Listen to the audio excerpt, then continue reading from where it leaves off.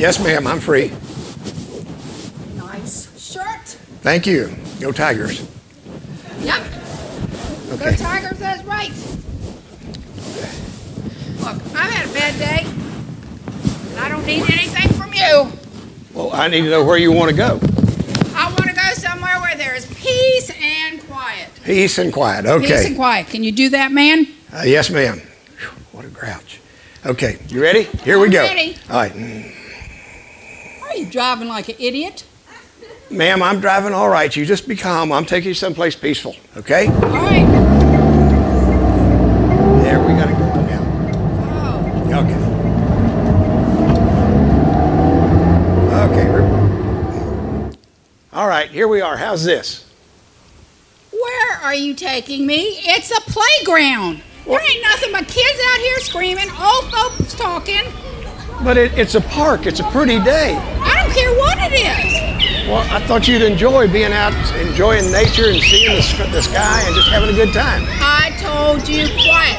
Hmm, okay. Quiet. You, you want quiet? I'll give I'll you give you quiet. quiet, buddy. Okay, here we go.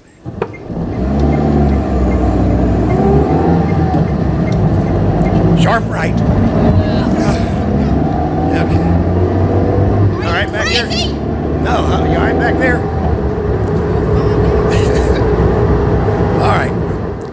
Here we are, ma'am. How's this? What are you doing? This is a graveyard. There's nobody here but dead people. Yes, ma'am. They're all quiet. I told you I want peace and quiet. Now, if you call this quiet, get me peace. Okay. Well, you're hard to please. All right, ma'am. Here we go again. You sure you want this now? I want this. All right. You gonna be able to pay the bill? No, I thought you would. No, it's gonna cost you. Don't worry, I have I have somebody to take care of it. Okay. All right, ma'am. Here we are. Here's the place. Oh my golly. There's a man up there and he's on a cross and he's bleeding. He's bleeding. Yes.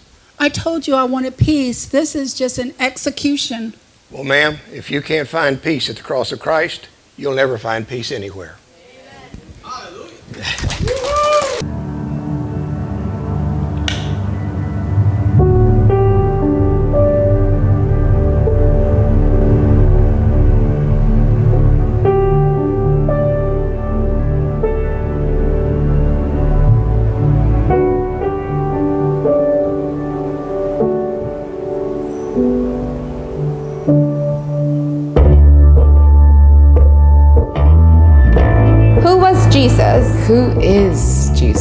That's the question. That's the question.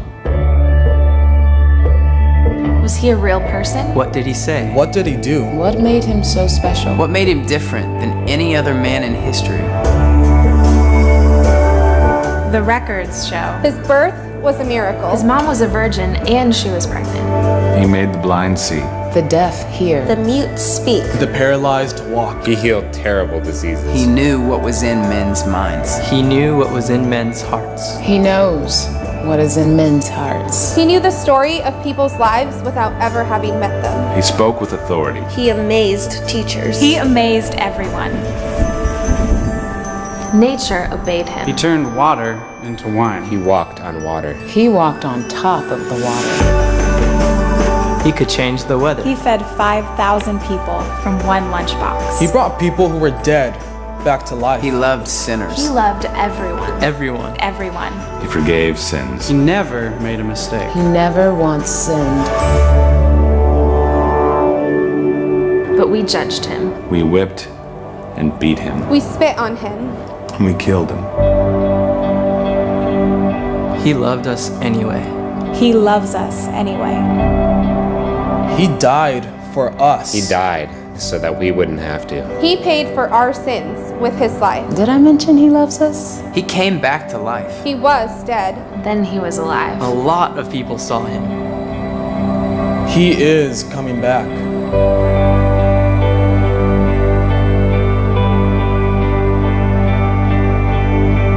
Who is Jesus? That's a big question. That's the big question. What does it even matter? What does it matter to you? Who is Jesus? My answer doesn't matter to you. Only your answer matters to you. Who do you say that he is? Who do you say that he is?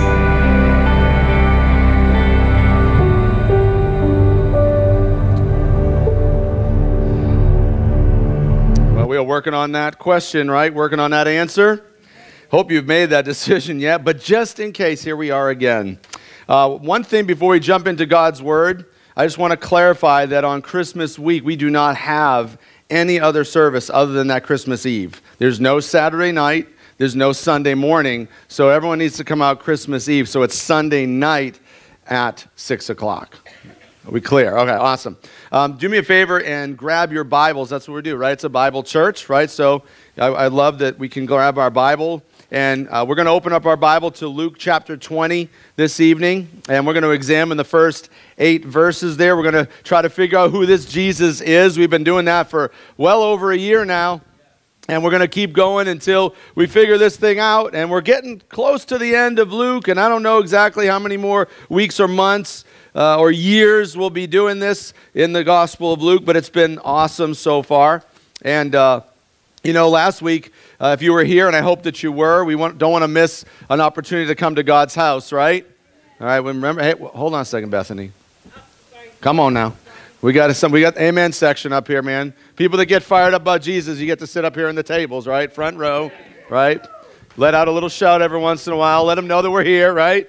So last week we we talked a little bit about what Jesus taught about this, about us getting together here in, in a place like this, and what we're supposed to be doing, right. And the main point of that was that we are here to hear from God right? That's why jesus taught in the temple every single day. He didn't tell them stories about you know meaningless stuff. He he spoke.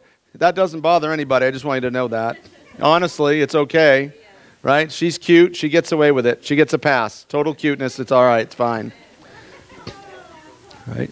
Yeah, let's vote. She stays. All right. Awesome. Awesome. Awesome.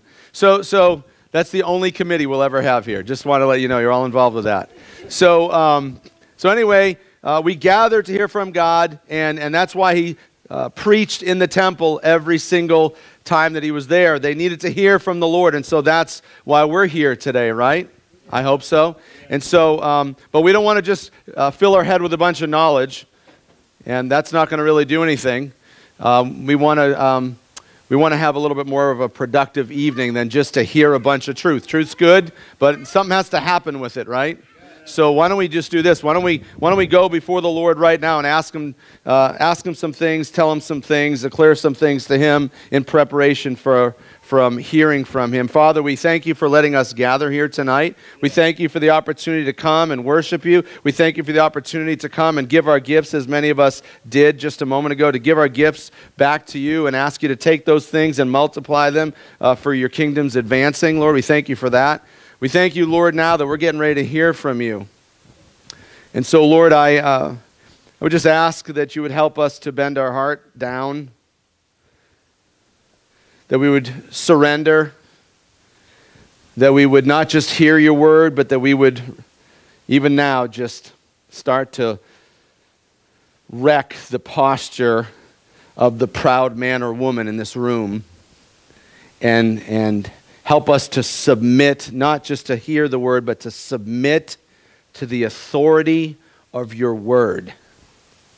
It is your will, Lord, that we are sanctified, that we are changed to become more like Jesus, less like the person we walked in tonight. We were, we're not satisfied with that, Lord.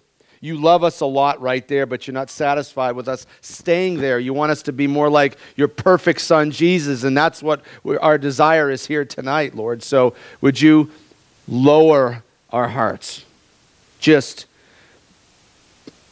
bend the unbendable right now and help us to submit to your word. We ask this in Jesus' name. Amen. If you agree with submitting to his word, why don't you say amen? amen. Awesome. So God heard you. So tonight we're going to, uh, we're not going to hear about what we should do here, but we're going to find out about this is going to be a direct one. We're going to find out who Jesus is. That's what the video has been saying for a year or so. And tonight, with total clarity, Jesus is going to tell you exactly who he is. Okay? And so let's read uh, Luke chapter 20, and we're going to read eight verses. Would you stand up as we acknowledge the king entering into the room? And we're going to acknowledge that he is here because his word, his word, whose word is it? His word is now going to be proclaimed. And so here we are in Luke chapter 20, first eight verses. One day, as Jesus was teaching the people and preaching the good news in the temple, the leading priests, the teachers of religious law, and the elders came up to him. They demanded, By what authority are you doing all these things? Who gave you the right? Let me ask you a question first, he replied. Did John's authority to baptize come from heaven, or was it merely human? They talked it over amongst themselves, and they said, Well, if we say it was from heaven, he will ask, they're speaking of Jesus, Jesus will ask why we didn't believe John.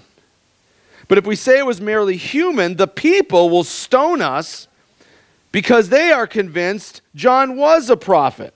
In other words, that John was speaking from heaven. So they finally replied that they didn't know. And Jesus responded, Then I won't tell you by what authority I do these things. You can sit. You can sit. You can sit. You know, uh, I got this little boy. His name is Jackson. You all know Jackson, right? He is so cute. See, my wife has a different definition of cute. I have a definition of cute. And I look at this little baby and I see cute. And it stands, her cuteness is, is, is it stands alone from her behavior. It's just, she's just cute, right? See, my wife has a different opinion about cute. She would say that your baby is adorable, right? I think that's safe. I think she would say that your baby is beautiful, but she would only say she's cute if she's naughty. cute to Meredith means adorable, it's a combination, adorable and naughty. And because they're adorable, they think they can get away with being naughty. That's what cute is. Now, listen, I don't want to have a vote because if you were here Wednesday night, you know that I don't win votes. Okay? So, I thought, although I see a couple more dudes in here tonight, we might have to re, like re-vote here, right? Take a recount. I, th- I see some hanging chads. We might have to check them and see. But uh, anyway, well, Jackson is cute by my wife's definition. He is rotten. And I, she's laughing. And, and she must, you must know him. he, he, listen, I love my little son. He is just an awesome gift from God. But you know what he says? Like, when he wants something, he'll say, I want those cookies. Daddy, put on the Wii. Really?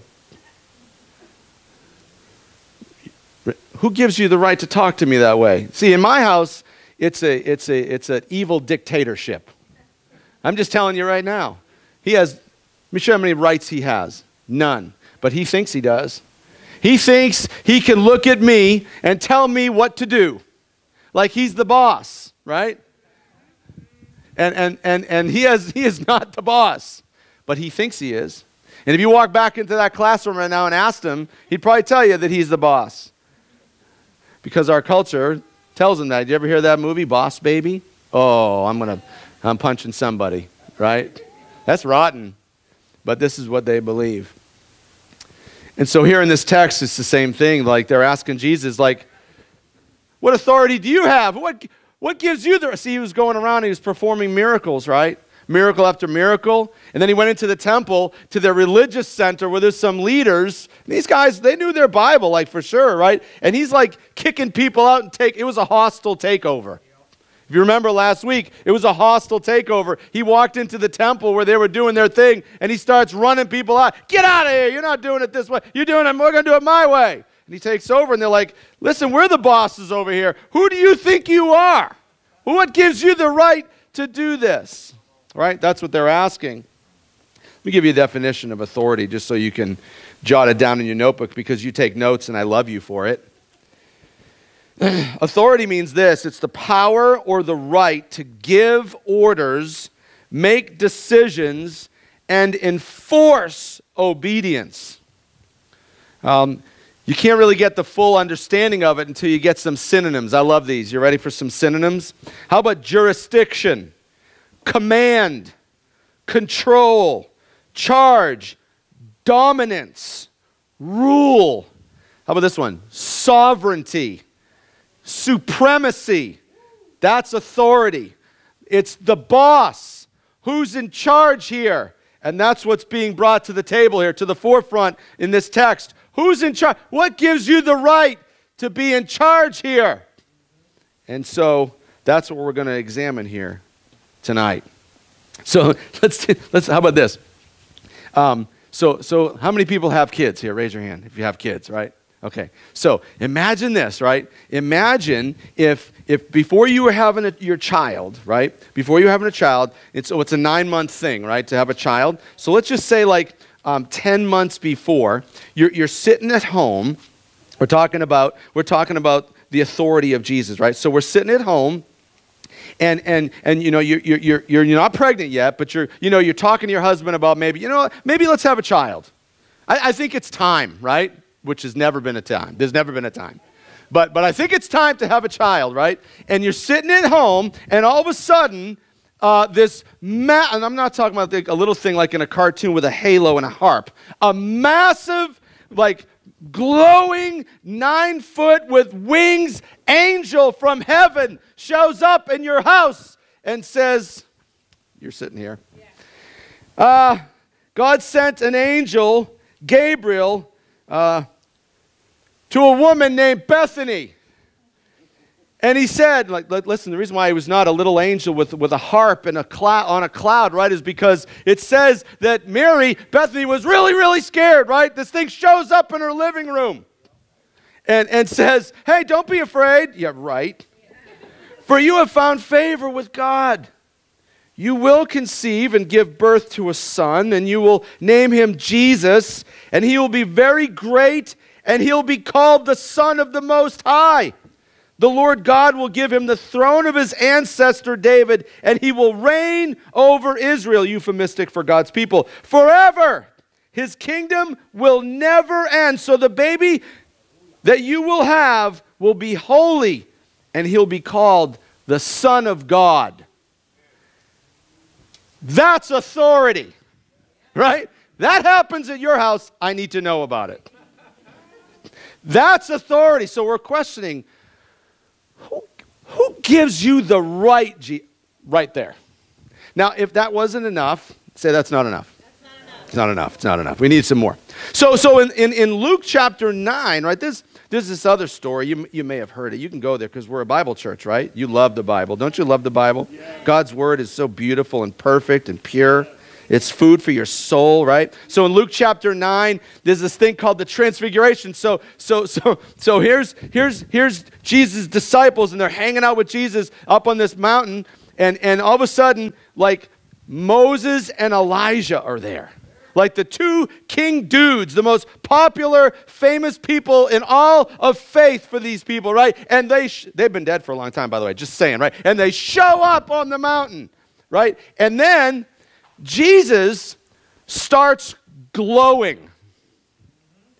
He's glowing, right? He's glowing. And, and all of a sudden, a voice, they don't see anybody, but this voice from heaven thundering through the clouds This is my son, my chosen one Listen to him. Someone say authority, right? The sovereign one didn't say to the greatest leader ever, Moses, follow him. Listen to him. That would make sense, wouldn't it? Greatest leader ever, right? It would make sense that he would say it of Elijah, this amazing prophet who performed miracles, right? Awesome. But he didn't. He chose Jesus and said, Listen to him. That's authority. That's authority. And uh, you say, That's not enough. That's not enough. Uh, Matthew chapter 7. Matthew chapter 7, verses uh, 28 and 29. What's happening here is that Jesus is teaching. And he's in the temple, much like we're in the temple, if you will, right now. And, and he's teaching. And, and, and listen, I, I, I've, I'm, I'm teaching you. I'm, I'm sharing God's word with you, right? And, and, and I'm offering up everything that I would know for you. And, and you know, I've watched my stuff. I, I watch lots of preachers. And I, I actually watch my stuff too to see if I'm doing all right and make sure I'm not saying anything I need to take back and all that, right?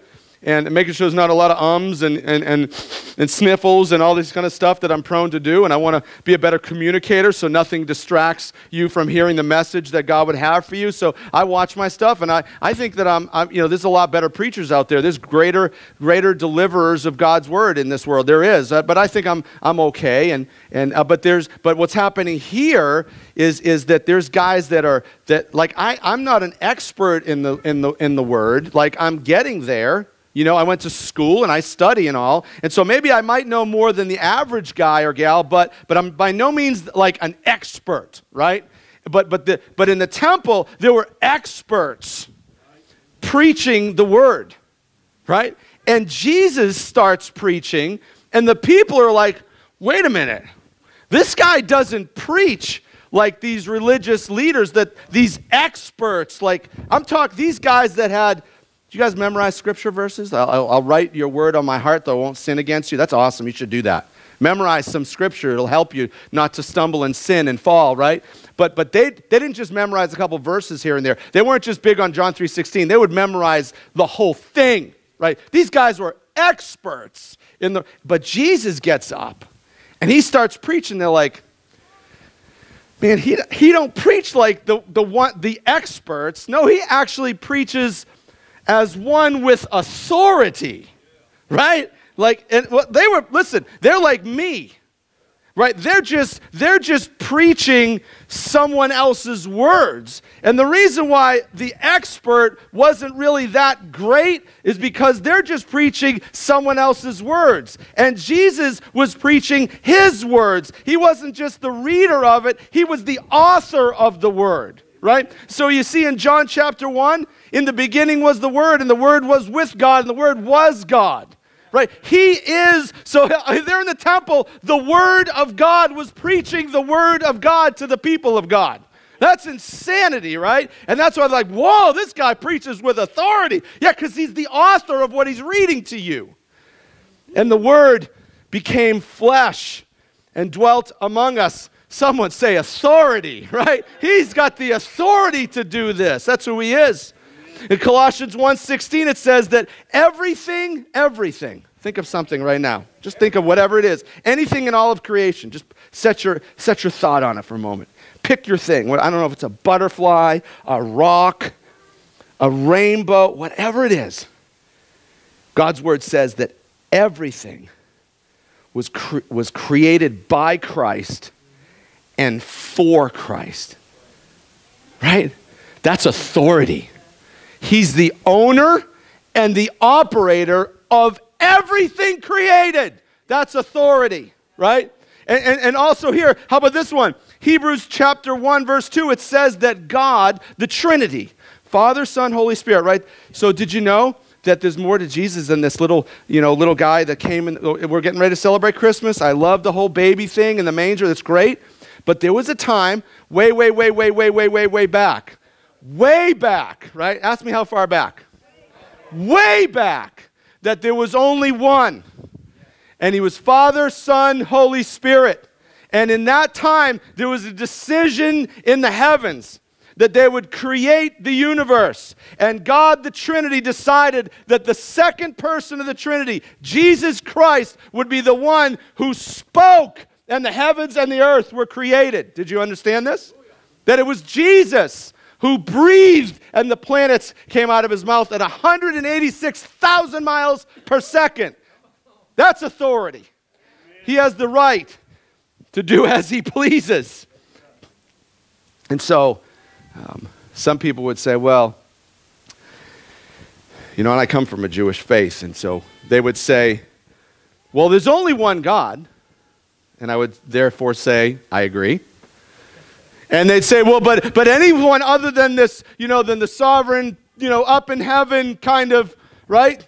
They don't understand Trinity. They don't understand the, tri- the triune God of Father, Son, Holy Spirit. They don't understand that, but they know that there's a God, and they'll say, well, there's only this God, and only one. And I would say, yes, I agree. But four verses after, God's word declares that it was Jesus who created this God that those people believe in, said, I command all of my angels to worship my Son. That's authority. That's Jesus Christ. And so that's why it's so, so easy for Jesus to, in his great commission at the end of Matthew chapter 28, to just say this I have been given authority in all of heaven and earth. Now go make disciples. Listen, no one can tell you not to do this. I have authority. And I said, Go, make disciples, baptize them in the name of the Father, Son, Holy Spirit, teach them all that I have taught you. So, um, Jesus, what gives you the right? I think it's pretty clear. he has the right. So here's the second thing that we see, and, and we'll just draw all the four things right out of the text.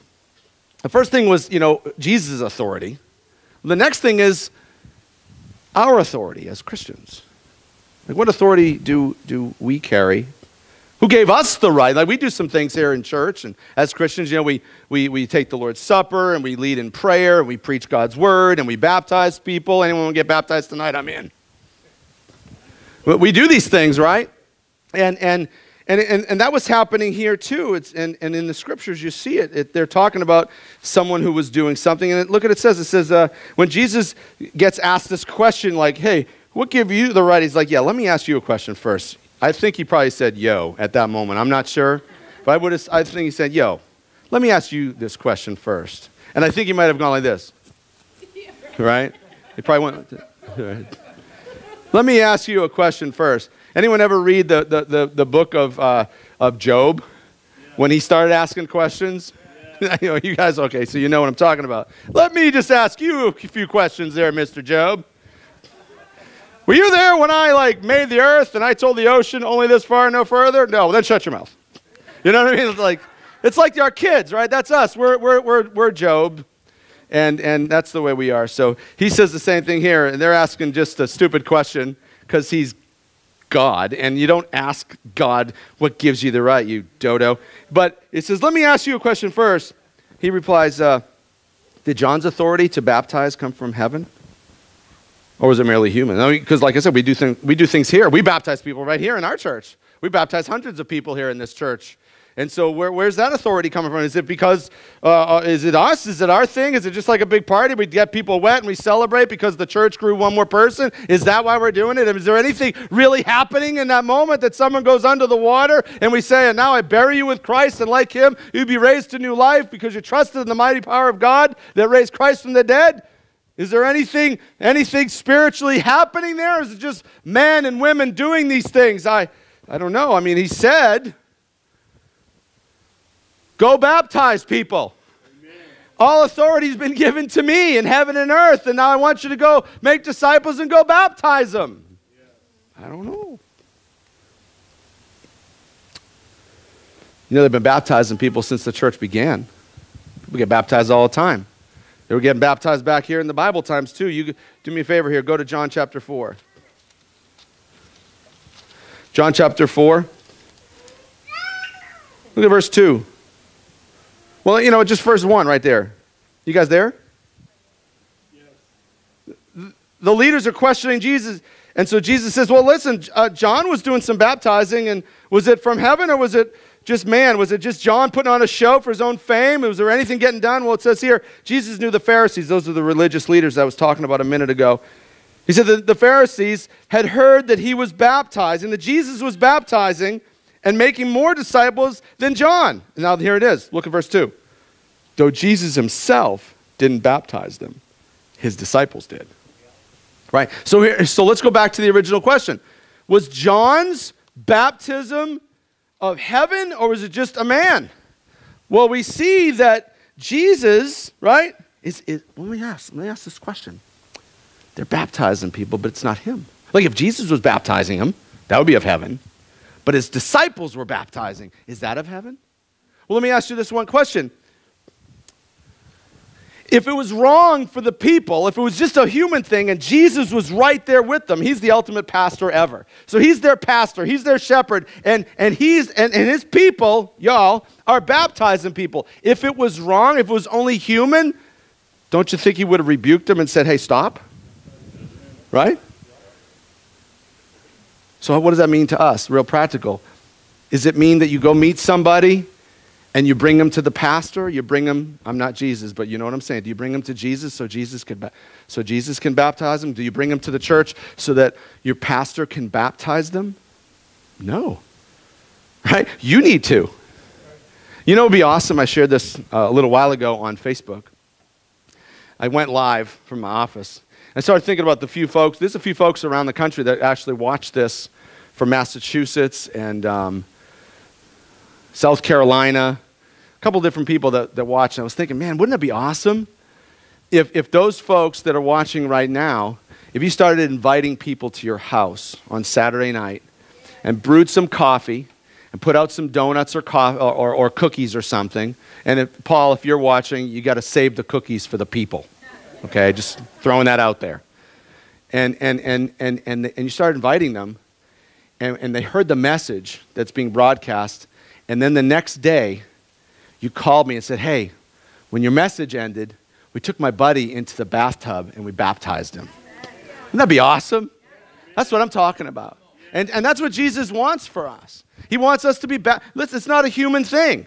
This is, this is God's. So listen, this is what Jesus wants uh, the authority to go do the things we do here in the church. That's heaven's authority. Jesus said, Go do these things. So we're not acting on our own. This is heaven's authority. Telling, you know, um, the Apostle Paul, same thing. Uh, the Apostle Paul, he was the greatest church planter that ever lived, wrote half the New Testament, right? Had a personal one on one with the Lord and, and wrote scripture on the Lord's behalf. And in, in uh, 1 Corinthians chapter 1, there's a couple verses in there. It says that, hey, listen, um, I only baptized, he lists off like, I think it's like four people. And all the, you know, I think he planted 14 churches. Imagine that. So 14 churches, goes all around spreading the gospel like nobody ever has before. And in all those places, he only baptized like four people. He says, I, I, the Lord didn't send me to baptize. He sent me to share the good news. So he sent him as a preacher so the, the preacher would tell you, go baptize people. Amen. Right? He, and, he, and he goes even further. He says, Did anyone get, thank God, did anyone get baptized in my name? Right? He just said, No one got, you know, Father, Son, Holy Spirit, and Paul. Like that didn't happen, right? It wasn't human authority. They were baptized in the name of the Lord Jesus. Right? right? And so it was Christ's authority imputed to us as we conduct ourselves as the church of Jesus Christ. Okay? We clear? Okay. Here's the third thing, make a note. Uh, you look in uh, verse 5. Let, us read verse 5 first. And I'll tell you what the, what the um, third thing is. It says they talked it over among themselves is that if we say it was from heaven, he will ask why we didn't believe John. But if we say it was merely human, the people will stone us because they are convinced John was a prophet. So, what do they do? Coward. So, they finally replied that they didn't know. First and foremost, it's a lie. You knew they know, right? You knew they know. because they voiced the answer in their refusal to, to, to voice an answer. they knew, but they didn't want to make a decision. They, they didn't want to, they didn't want the, their, their authority usurped and taken from them. And so what do they do? Coward. They back out. They don't make a decision. Jesus is trying to do something here, and they're refusing him. What do we do? What do we do? How do we not just learn and grow, but how do we hold on to that which we have and white knuckle that thing, and I'm not going to let it go? So the third thing is you got to make a decision on Jesus. You have to make a decision on Jesus. And I think this text makes it absolutely clear. You must make a decision. See, a lot of people are waiting with a T.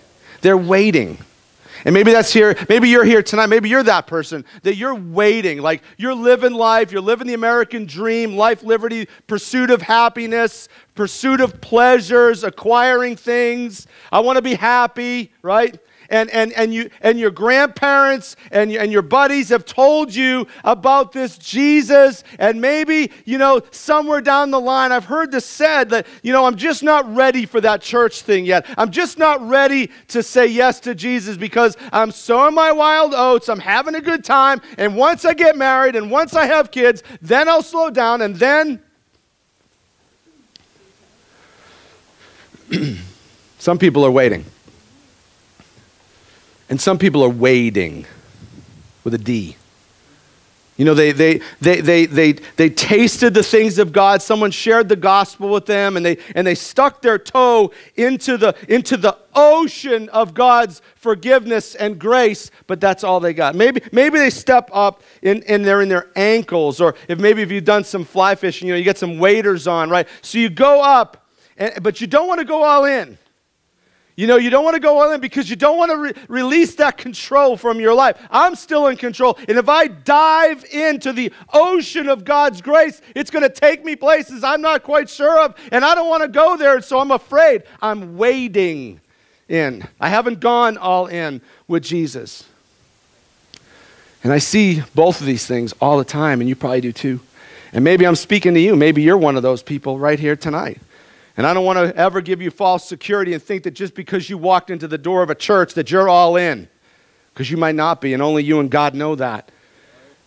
But maybe it's time to just stop the waiting and jump in and let the flood of God's grace totally cover you. You know, when I got led to the Lord, I, I have shared this before, but it's worth repeating. You know, when I got led to the Lord, I had this guy, Pastor Brent, Brent Bickar. I love the guy. He led me to the Lord, and, and he met me at a car dealership. You know, the darkest den of iniquity you can find lying, cheating, filled with drugs and drinking. You know, I mean, just all the reputation of the, of the car salesman, they're true. And I'm ashamed to say I was a big part of that, but I, I am. That's, that's who I was. But this guy walked into the, into the dealership, and long story short, he shared the gospel with me. And I wasn't saved yet, but he shared the gospel with me. And he said, he asked me this. He said, Do you have any children? And I said, Yes. He said, Well, let me ask you a question. Um, if you went to orientation at the school and you went up, went up to your daughter's teacher and you said, Hi, I'm Mr. Robbins, and he or she said, Hi, I'm Ricky, and I'm God, what would you do? Well, I never had that question thrown in my face before. It's like, Well, I don't understand. He goes, Well, Jesus claimed to be. So, what, what do you think he is? Moses? He asked me right, right in my face. And I was like, well, you know, I'm Jewish. So I'm like, well, I don't know. I mean, he was a good teacher. I mean, he was moral, you know, golden rule guy. Teach you to be nice, you know, pray for people and stuff. Like, I don't know. I thought he was just a good teacher. He's like, yeah, but he claimed to be God. And so if your teacher of your student, of your daughter said, I'm God, what would you do? I'm like, I don't, I don't know. He said, well, maybe he's crazy. And if you thought he was crazy, would you let him, would you let your daughter go to his class? I'm like, well, I said, well, hell no. He said, or maybe he's a liar. Well, if he's a liar, then you can't say he's a good teacher, right? Or a moral guy. Moral guys don't lie, right? Then he looked me right in the eyes and said, Or he's God and you bow. it's like, he said, you, you can't leave Jesus on the fence, man. You can't leave him on the shelf. You need to make a decision on this Jesus. Amen. You have to make a decision, and that's exactly what this text is saying. You have to make a decision on Jesus. You can't leave him hanging out there. You know, the Bible tells us in Luke chapter 11, verse 23, that there's no such thing as neutral. There's no such thing as neutral. He said, if you're for me, if you're not for me, you're against me. If you're not working for me, you can check me. If you're not working for me, you're against me. Right? We need to cross the bridge from believing to following.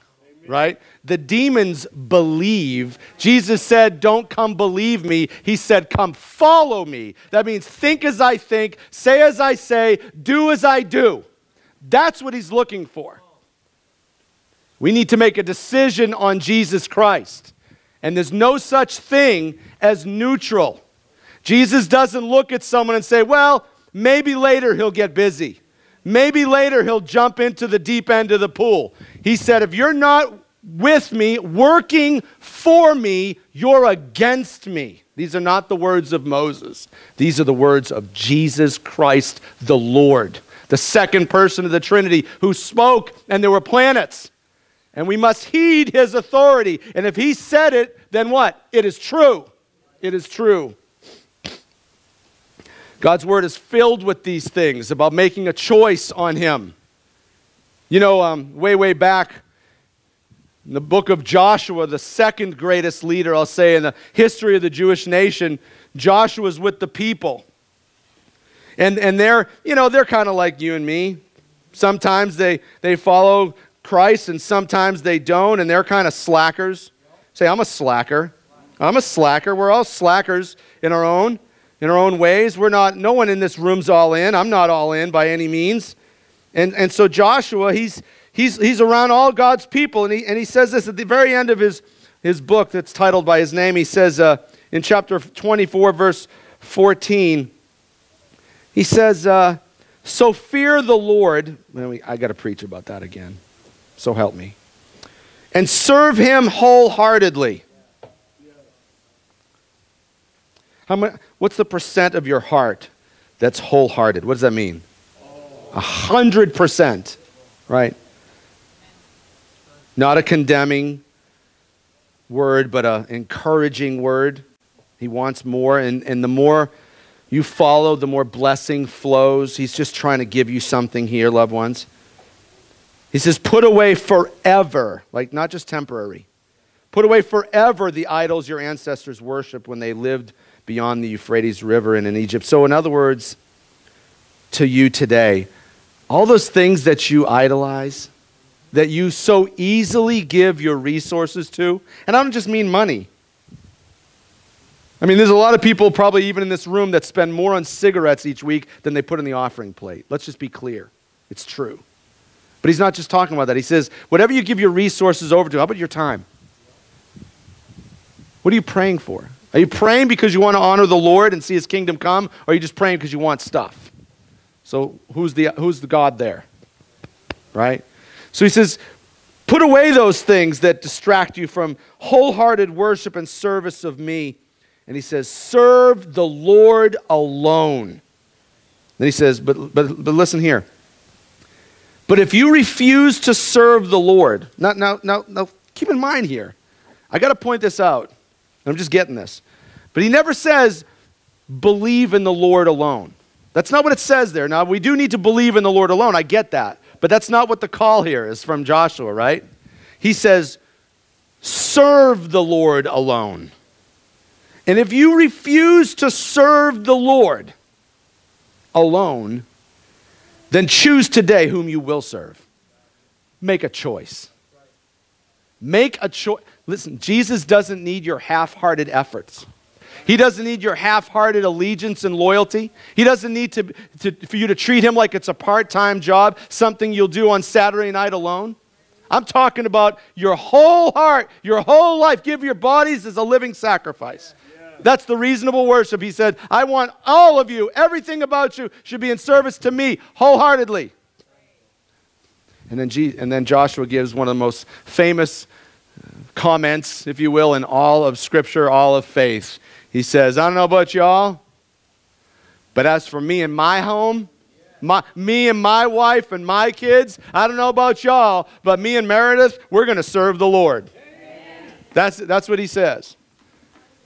And that's the choice that we need to make. He said, I want you to make a choice. That doesn't stop there. For, this is an awesome story. 1 Kings chapter 18. Man, awesome story. 1 Kings chapter 18, go there because you love the Bible. 1 Kings chapter 18. Let me give you a little backstory here.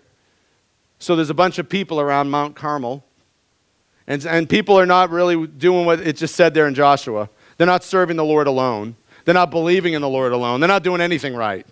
They're worshiping God on like Monday, Wednesday, and Friday, but on Tuesday and Thursday, they're worshiping Baal, and, and they got these, these, these Asherah poles. I mean, it's just awful.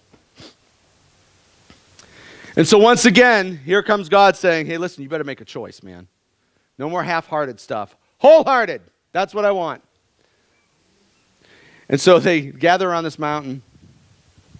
And you can read the story. I'm not going to get into it, but they, they have like two altars. Let's just call it a pile. And they put wood, and, and, and, and, and then Elijah puts wood over here, and they, they you know, and they, they make offerings, sacrifices to their God. So Elijah's going to make an offering to his God, and, and these false prophets are going to do their offering to their God. And, and, and, and Elijah's like, yeah, whoever Whoever's God you know, sends down fire from heaven. Like whoever's God recognizes it and is awake and notices and responds. Like whoever's real, that's who God is.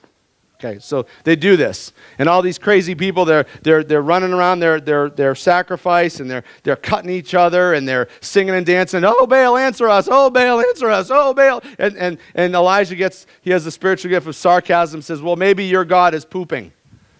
Maybe he's relieving himself and he doesn't hear what you, what you said. And, uh, and, but then, you know, Elijah, he says, if you're real, show. And wham! Fire. But this is what he says to the people. It says in uh, chapter 18, verse 21, he says, Then Elijah stood in front of the people and said, and this is the word for you guys tonight. For those that are waiting, and those that are wading, who have Jesus on the fence, who haven't made a decision to follow him wholeheartedly.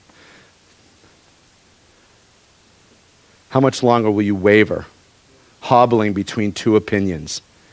If the Lord is God, follow him. It's time to make a decision on Jesus Christ. No more sticking your toe into the shallow end of the, of the faith pool and saying, I, I, I've got it, I'm saved. Listen, if you're not all in, if the, if the ocean, if the tidal wave of God's grace is not covering you, you ain't in. I think that's why we're supposed to be fully immersed as a symbol of what our life should be. Completely. Like when we get baptized, we go under, completely covered, giving ourselves completely to Him. Listen, the cross of Jesus Christ demands a decision. You cannot see what he did on the cross for you and just stick your toe in the tub of salvation. It demands a great response. There's a difference, a massive difference between believing and following. And I'll just say this True believers follow Jesus. They follow Jesus. They go where he goes and they do what he says. Listen, all the time. Uh, and I'm not saying that because I graduated, everybody, because I'm not, I'm not there. I don't do it all the time either. But this is, I'm going to be unashamed to tell you the truth. This is the standard that God's word sets for us. That doesn't mean it's Moses' standard that somehow I've made it because I have not. But that is the standard of God's word. All in worship, all in following, all in believing. All right, here's the, the fourth and the, and the last thing on our, in our notes. And you see it there in the text. You can go back to Luke 20. so they, so they, they refuse to give the answer, right? Like they know what they should say, but they're like, man, I don't know what I should say here because if I go this way, it's going to be this, and if I go that way, it's going to be really bad in a rock and a hard place. And should I stay or should I go now? You know, I don't know, you know. And, and so look at what Jesus says here. He's like, well, listen, um, if you won't make a decision, like I'm trying to do something here, guys, and, and if you won't make a decision, then I'm not telling you whose authority. And, I, look, I'm, I'm just saying this. I don't know that this is true. This, this, that's the gospel, and, and, and it's just me. But it says here, um, so they finally replied that they didn't know. That was their answer. They didn't know. And I think Jesus is going, you know what? Uh, that guy, they didn't know, he's the one. He's the one who gave me authority. The, the, the, the, the, that did, the they didn't know guy. That's who did. But he's like, listen, if you don't want to know, then I won't tell you. you have, and, and so the, the fourth point is this you have to be willing to learn. You have to be, you have to be teachable. All of us have to be teachable. Nobody has ever, has ever made it. Paul himself, who wrote half of the New Testament, says, I haven't even, I, I haven't, I haven't reached perfection yet. I haven't made it yet. I fail all the time. He says, The things I should do, I don't. The things I shouldn't do, I do. Who can help me? I haven't reached perfection yet. And so Jesus is like, man, you gotta, you gotta be willing to learn. You have to be teachable. And these, these guys weren't, these cats weren't teachable, were they? They were not teachable. They were stubborn, rebellious, stiff-necked Hebrews. And, and that's the way we are too. That's why it says in Romans 12, 2, don't copy the behaviors and customs of this world, but let God transform you into a new person by changing the way you think. The big word there is let. In, in, God's sovereignty, He's decided that His authority has been given to you in this area. That if you to change, you have to let it happen. You have to be willing to, to, to, to bend your knee, to bow your heart, and to, will, to, to bend your will to the supremacy of Christ and say, Your will, not mine. That's what we're supposed to do. We have to be teachable. In Roman, uh, I'm sorry, in Galatians chapter 5, verse 16, it says this. Now, you've been given the Holy Spirit.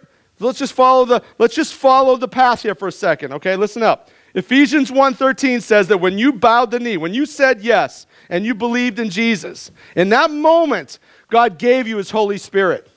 Right? And listen, there's no time when you get more of the Holy Spirit later on.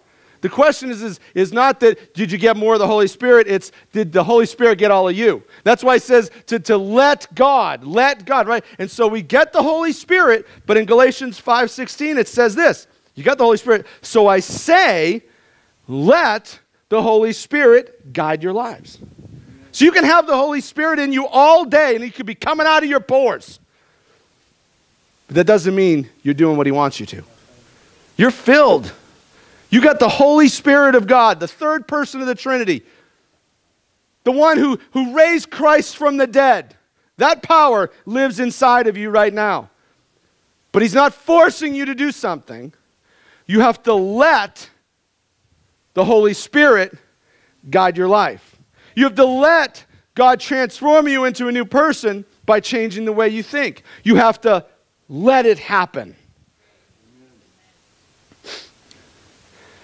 So, last but not least, I just want to take you to the heart of the text. The big issue here. What's the, so that, here's the thing. When you read, you should always be like this. Okay, what's the main thing that, that God's trying to point out here to us? What is He trying to, to do here right now?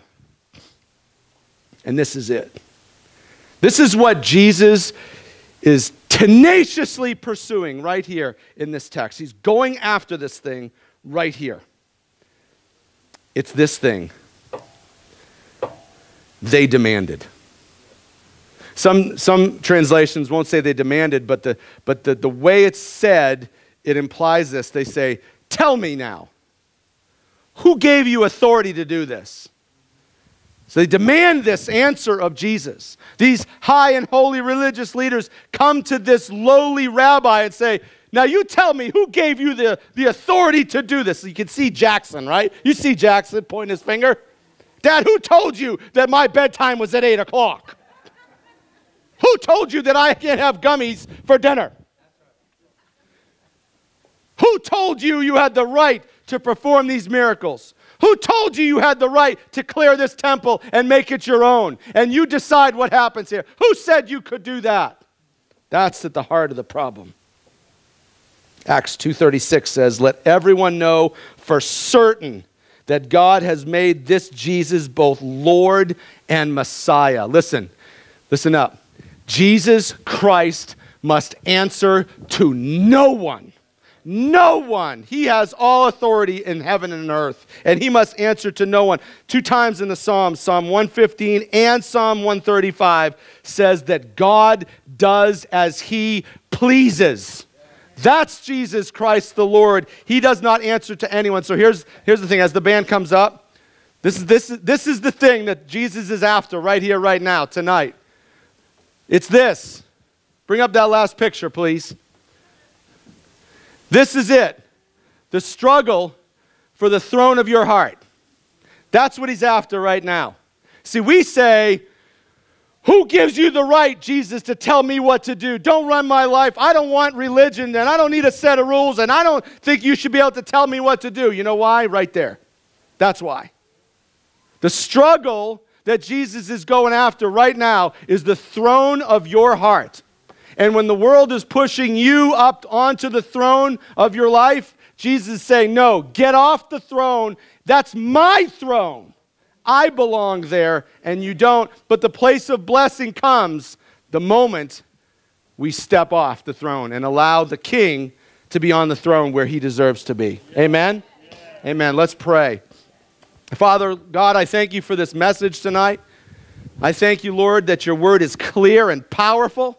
And Lord, I pray that this word would go forth into the ears of the believer and that you would give them the, the, the, the desire to lay down their will right now, Lord, and let you be the, be the king of their heart.